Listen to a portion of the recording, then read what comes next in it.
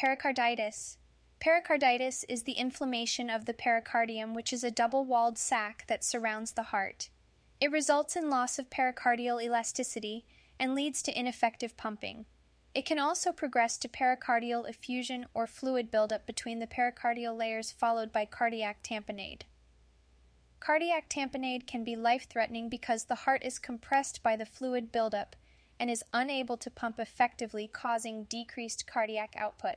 Click on the link to watch my cardiac tamponade video. Signs and symptoms. Signs and symptoms include pleuritic chest pain that worsens with deep breathing, coughing, and swallowing. And pain is relieved by sitting up and leaning forward because this position relieves pressure on the inflamed pericardium. You may also hear pericardial friction rub on auscultation. It is characterized as a high pitched, scratchy sound because the inflamed sacs are rubbing against one another.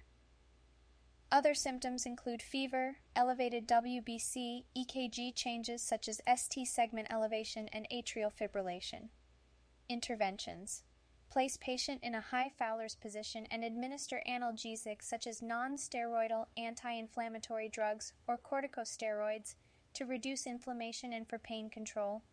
Administer oxygen, obtain blood cultures to identify the causative organism, administer antibiotics for bacterial infection as prescribed, monitor for signs of cardiac tamponade, and report to provider immediately.